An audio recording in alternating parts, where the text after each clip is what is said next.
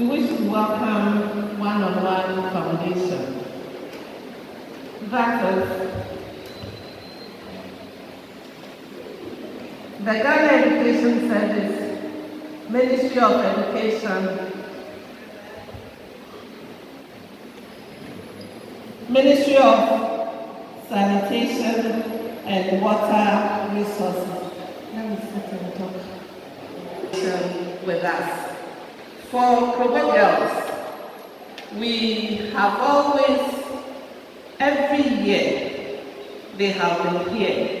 Even with the COVID period, they were here to give us items to help us improve on sanitation of the COVID situation.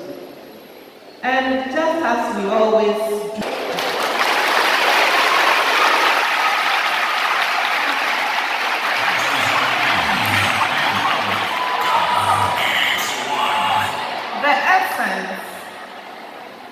to improve on hygiene and sanitation in our schools.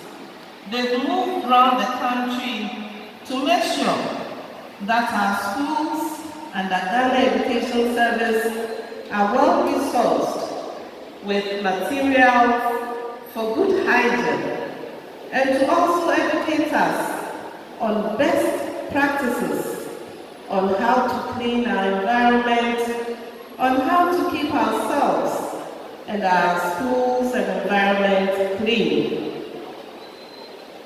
For us, we are privileged to be among the four schools to enjoy the cooking competition.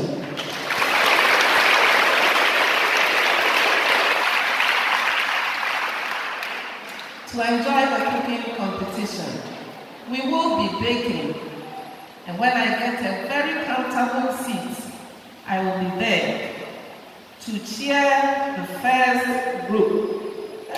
Not, uh, tomorrow I'll try and see if I can do the aerobics. We are going to have aerobics tomorrow. We'll be having drawing, two days of entertainment, learn something very useful Make sure by the time they leave, your house is first. And also, I think they will give us um, the deodorants. They'll give us deodorants. It's about healthcare. So One on One Foundation, we are so grateful to you. They are part of us. There are times they bring us drinks. You know, name it. You are warmly welcome to Krobo Girls. Thank you.